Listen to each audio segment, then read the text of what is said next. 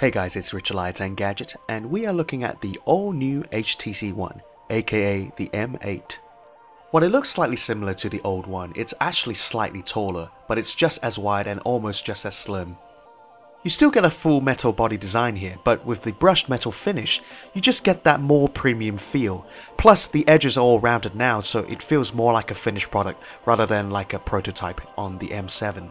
The screen here is a 5-inch 1080p display, so it's slightly larger than the 4.7-inch panel on the M7. Performance isn't going to be an issue because you're getting a Snapdragon 801 chip running at 2.3 GHz here. On the front side you have a 5 megapixel front facing camera along with improved BoomSound stereo speakers.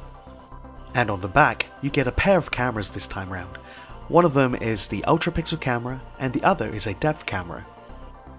Every photo taken with this pair of cameras will actually store the depth data that lets you play with different effects, like putting leaves or flower petals in front of it so that these objects will surround the subject. Or you can play with different sketches, different styles, different filters. A bit like the Lytro depth camera, you can actually play with refocus after taking these pictures. Our favourite feature is this 3D effect, so that you can use the phone's gyroscope to sort of mess around with the subject in front of you. It's kind of addictive, to be honest. The new one comes with a nano SIM slot, as well as a micro SD slot that lets you add up to 128GB of external storage. On the bottom side you get the micro USB port as well as the headphone jack.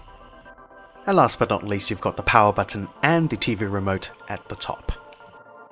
The new one comes with Sense 6.0, which is essentially an enhanced version of Sense 5.5 built on top of Android KitKat.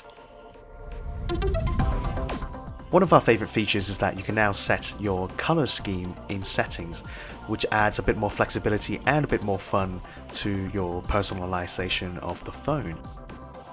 And of course, BlinkFeed is here to stay, but again, if you don't want it, you can actually disable it, or you can bring it back at any time. Last but not least, you can get this dot view flip cover for your new one. You can double tap on it to check the time or notifications, or you can even swipe up to pick up phone calls through the case. And that's it for now, stay tuned for our in-depth review of the new HTC One.